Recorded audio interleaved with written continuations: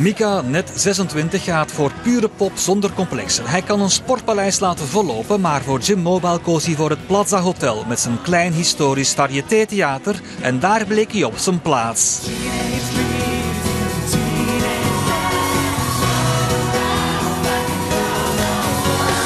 If you've ever come to one of my concerts, you know that half of the show is from me and my band and the show that and the very theatrical show that happens on stage and the other half is entirely the audience There's, the lines between the two are blurred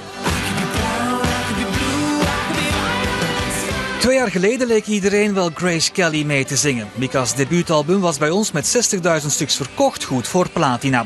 Veel wordt dus verwacht van de opvolger The Boy Who Knew Too Much.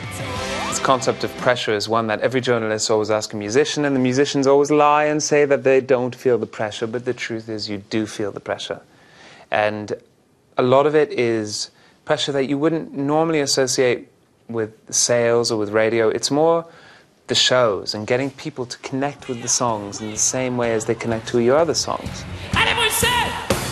En Mika mocht op zijn beide oren slapen.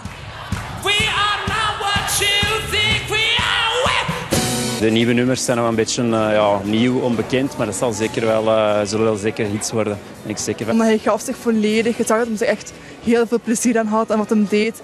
En hij bedankte ons en hij sprak het Nederlands. Want ondertussen heeft Mika België om verschillende redenen leren appreciëren. Rumor has it that whenever you're in Belgium, you can't resist the urge to shop here. Oh gosh, yeah. it's very expensive though. um, yeah, and I, I like a lot of Belgium designers' clothes. Luckily, some of them are nice enough now to send them to me because I've bought too many of them.